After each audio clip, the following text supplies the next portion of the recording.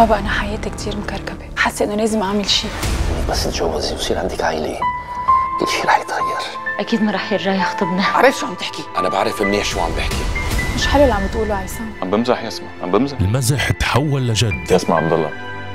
تتجوزيني يسمع. معقول توافق؟ حبيبتي ما تعملي شيء غصب عنك. الجزء الثاني من ما فيي قولك عامر رح يرجع لبنان. يوميا ما عدا الخميس والسبت بعد الأخبار على الام تي في